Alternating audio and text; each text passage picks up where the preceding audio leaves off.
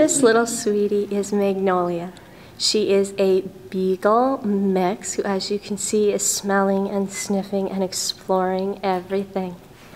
Magnolia did come to us from a rough situation. As you can see, she has very little hair. She's now happy and healthy and ready to go home, but we don't know if she will ever grow hair again. She's very sweet, though. She's nervous around new people and new situations, so she's definitely looking for a quiet home. Somewhere that's just going to show her that this world is not such a bad, scary place. Once you, she gains your trust, once you gain her trust, though, she just becomes so sweet, just becomes a friendly, loving little girl.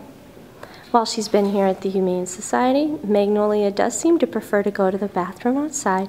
She walks nicely on a leash. She likes to go out there and smell and sniff, so she'd be great in a home that could take her for those nice, slow, leisurely walks. But definitely spend some time cuddling with the sweetie as well. She's so good natured, so happy and sweet, and definitely deserves a second chance at a loving new home. She's going to make someone a terrific new companion.